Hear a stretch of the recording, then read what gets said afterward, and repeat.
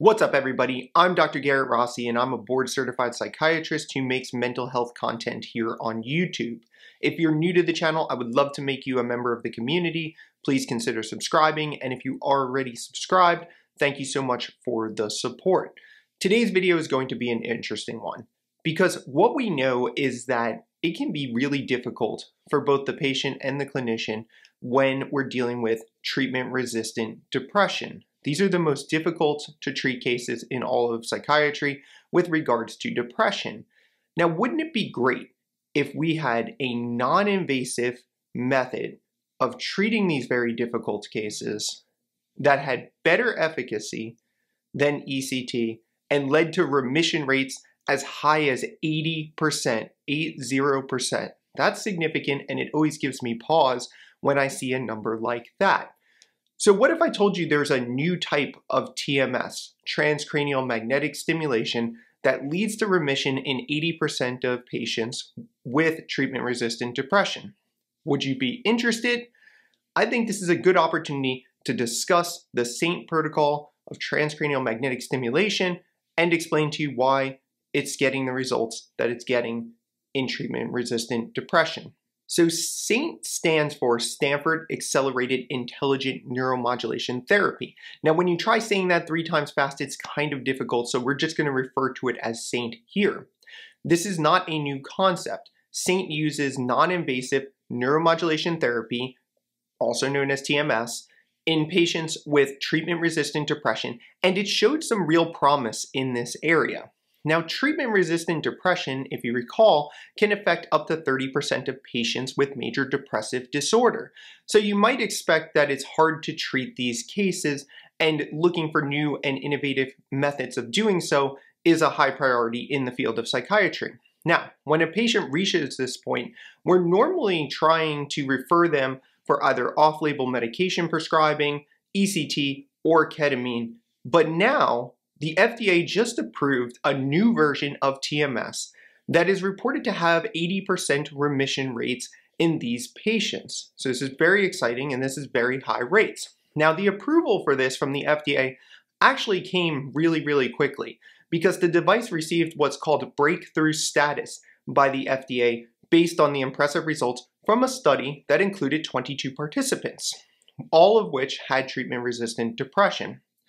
Now, 19 of these 22 participants achieved remission, which in terms of a percentage is 86.4% of participants. So almost 90% of the people who received this treatment not only had a response to it, but actually had remission or total relief of all of their symptoms. Now, this is substantially better than other treatments for treatment-resistant depression, including ECT, which has a remission rate around 50% to 70% depending on which article you read. All right, guys, so let's answer the question, what is SAINT? Now, I said SAINT stood for Stanford Accelerated Intelligent Neuromodulation Therapy, and of course, in case you were wondering, it was developed at Stanford University. So kind of simple. It has it in the name, so we know where it came from. Now, what sets TMS procedures apart from other methods of TMS is the intensity of these sessions. So this requires the participant to have 10 sessions of TMS per day. So it's a 10 hour course of treatment per day and it's carried out over the course of five days. So we have five days of intense treatment, 10 sessions per day, per day each taking about 10 minutes in length to complete. The intelligent portion of the name, you might be wondering why they're calling it intelligent. So this is derived from the way in which they place the coil on the dorsolateral prefrontal cortex. So with TMS, what ends up happening is you have this magnetic coil that's placed on the left dorsolateral prefrontal cortex. Now in regular TMS, this is sometimes inaccurate. Actually, in up to 30% of the cases, it's not accurate. So the coil doesn't get placed where it's supposed to get placed with the less precise methods or intelligent methods of placing it. But what they do in the SAINT protocol is they use MRI slash fMRI, so that would be a functional magnetic resonance imaging or magnetic resonance imaging, depending on which one we're talking about. And they use guided theta burst stimulation. So theta burst is a certain type of TMS. It requires a certain type of coil to produce. And this ensures proper placement of the coil on the left dorsolateral prefrontal cortex. Now, the device has made its way out of academia. So it started in the academic arena at Stanford University, and it's now being distributed by a private startup company called Magnus Medical. You can get on the waiting list to purchase one of these new machines. Right now, they should be coming out in 2023, and if you can feel, feel compelled to do so after this talk, it won't be because of me because I have no affiliations with the company and you might want to pump the brakes before opening your wallet for this one, and I'm going to explain why in the next sections. Okay guys, so let's talk about what research actually led to FDA breakthrough status and approval for Saint. Now, in general, in the United States, the devices, medical devices, are not held to the same standards as medications are when gaining FDA approval, and this is no different for this device. So it's actually much easier to get approval for a device than it is for a medication. Now, the initial work that we talked about at the beginning of this video with the 22 participants was actually carried out in what's called an open label format. So this is basically people knew that they were getting the treatment. So it wasn't a randomized controlled trial, and this is generally considered a lower form of evidence. Now, this same research group from Stanford eventually did publish a randomized controlled trial in the American Journal of Psychiatry, which is a fairly prestigious journal in the world of psychiatry, and this is largely what led to the FDA approval. Now, in this study, instead of 22 participants, they enrolled 32 participants, all of which had treatment resistant depression. So, again, the most severe form of depression. And what they did was they used the percent reduction in the MADRS score, which is a screening scale that's used to kind of assess depressive symptoms, mostly used in research.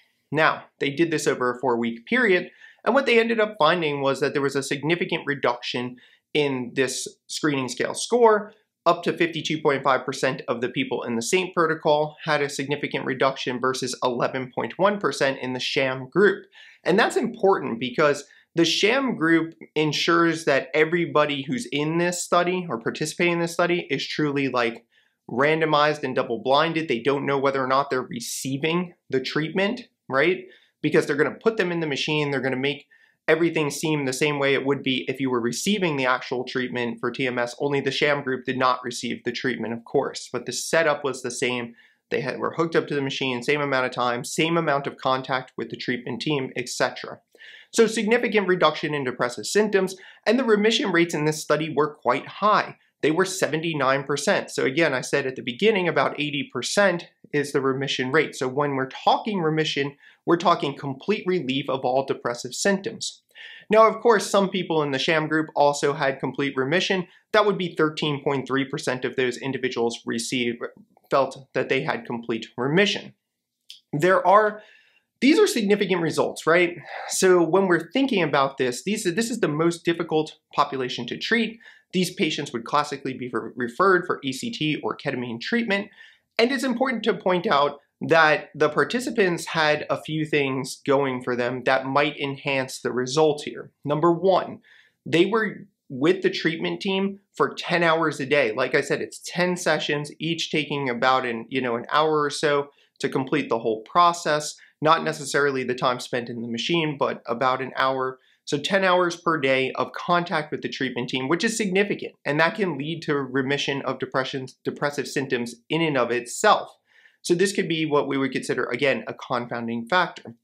The other thing to point out here is that there's only 32 participants, which is a relatively low number for a randomized controlled trial. We usually like to see several hundred participants, and even on bigger scales, thousands of participants if possible. The more, the better usually to demonstrate efficacy of a treatment. So these are both confounding factors. However, as I pointed out, it was very important that they did sham treatment to help to control some of that so that you were not getting as much confounding and bias in your result as you otherwise would.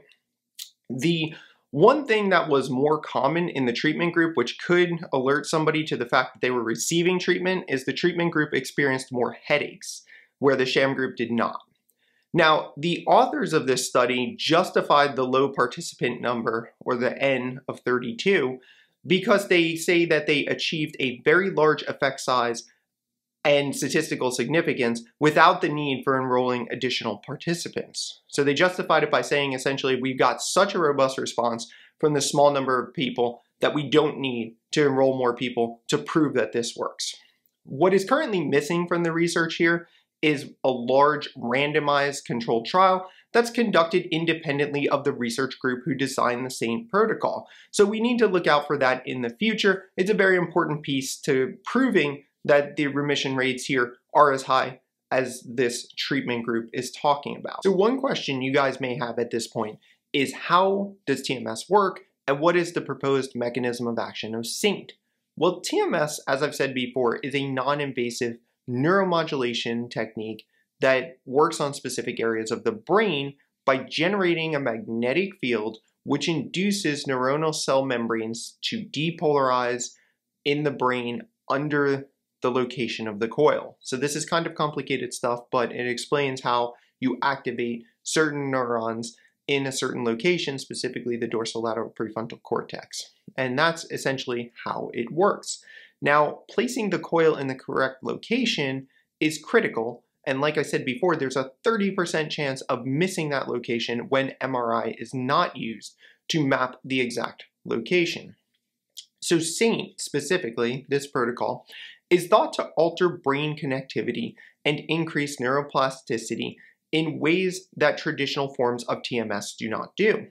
Now, the preliminary evidence suggests that this connectivity and neuroplasticity is located between the amygdala, the insula cortex, and the medial frontal gyrus, and this is altered in meaningful ways, resulting in improvement in depressive symptoms. Now, studies are underway to assess this mechanism of action further, and we would like to see those studies before concluding exactly how this works, but that's a general idea of how TMS does what it does, and also what separates it from, what separates SAINT from other traditional forms of TMS. Okay guys, so now the part that you've been waiting for, and that is how does SAINT differ from other forms of TMS and what makes it unique or special?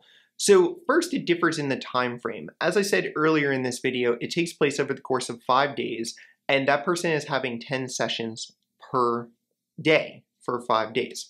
Now, TMS normally takes a full six weeks to complete, and the treatments during those five days are not as intense. Like I said here in SAINT, five days with 10 sessions per day, where standard TMS usually only occurs once per day. Now, the time frame also differs. So the time for each treatment in the SAINT protocol is much shorter, lasting approximately 10 minutes compared to the 20 to 45 minutes usually required for TMS. So these are short duration sessions, 10 of them in total, over the course of five days. There are actually three established forms of TMS, and they all differ not so much in the way that they do what they do, the mechanism of action, they differ in the time required to complete the treatment. So the first TMS machines used what was called a figure eight coil, and this took 45 minutes to complete each session. So you'd have to do 45 minutes per day over the course of six weeks to complete your TMS treatment. And then the H coils were invented by a company called Brainsways. And these sessions take only 20 minutes to complete.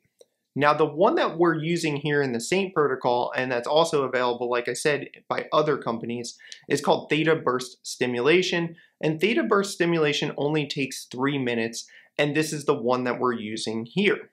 Now, the next question was about where to place the coil and how to place it. So traditionally, I'm going to take you through the traditional method of doing so at most TMS centers.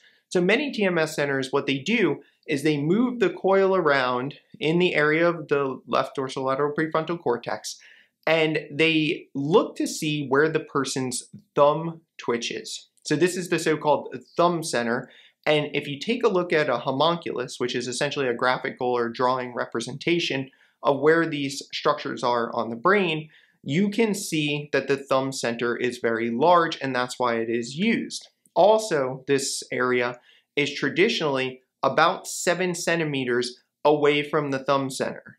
The, so the left dorsolateral prefrontal cortex is seven centimeters away from this thumb center. So we look for the location where the thumb twitches. Once we find that, we move the coil seven centimeters uh, away from that location, and then that will get us into the dorsolateral prefrontal cortex theoretically. So you can see that this is not a very precise method. So what they did with the SAINT protocol and other and even other forms of TMS actually for that matter, this is not the only company that uses MRI guided placement of the coil. But again, there's MRI guided placement of the coil so that you can ensure that it's in the left dorsolateral prefrontal cortex like it's supposed to be. Now, so the other thing that's unique about the SAINT protocol is that they claim to have a special algorithm for locating the prefrontal cortex, and this is unique to their machine only. This still needs to be tested and we'll, and we'll see as these machines come into clinical practice and more investigations are conducted. All right guys, so let's wrap the video up and let's get my take on it. So I've had a chance to review the literature and read these articles and take a look at the publications that they have made so far. And I gotta say, I'm excited. I'm always glad when there's innovation in any area of psychiatry. Specifically here, we're talking about TMS. And the results so far, honestly, have been quite impressive. Now, we have to keep in mind, though, that these machines are being marketed by a startup company that's left the world of academia. It's designed to make a profit, right? So this this there is financial interest on the part of the people conducting most of these studies, as well as the people marketing the machine and these unique guidelines. Now, it's unclear if you actually need to purchase their machine to produce similar results. As I said before, Theta Burst TMS already exists, MRI guided placement of the coil already exists, and the company claims that they developed this algorithm for placing the coil that is unique, and this claim, like I said, needs to be investigated further to ensure that that is true. Another concern that I have is that most of the research that's been published on the SAINT protocol has been published by the same research group, that original group out of Stanford that is now working as a private startup to market their idea. So we lack a true reproduced large randomized control trial that's independent of this study group. So that's something to look out for and something that I think will be important in determining whether or not this truly is as successful as they have been promoting it to be. My final concern is actually regarding the application of this treatment for the average depressed patient. So it requires a full five days and 10 hours a day of treatment. So that's a lot for anybody to invest, to be in a location for a full five days, um, away from work, away from family, and to be doing such intense treatment 10 hours per day can be difficult. So I think that's one of the barriers to using this. Now this may or may not be feasible, we'll find out as more as it's used more readily in clinical practice. And we haven't even talked about not only the intensity of the treatment, but the cost and will insurers pay for it. These are other potential barriers. So what will it cost to do this treatment and will your insurance company cover it? I would also like to see eventually, on top of a large randomized controlled trial independently published of the group that designed the protocol, I would also like to see a head-to-head study where they compare the SAINT protocol to ketamine and ECT. So I think that's also something that we absolutely need in the literature to make the definitive argument that this is better than ECT or better than ketamine treatment that's available already for treatment-resistant depression. So I'm going to hold it there, guys. If you like the video, please consider subscribing to the channel. It really helps me to know that you guys are getting value from this. And if you want to see more neuromodulation videos, let me know in the comments section below. I'll be looking forward to those shortly.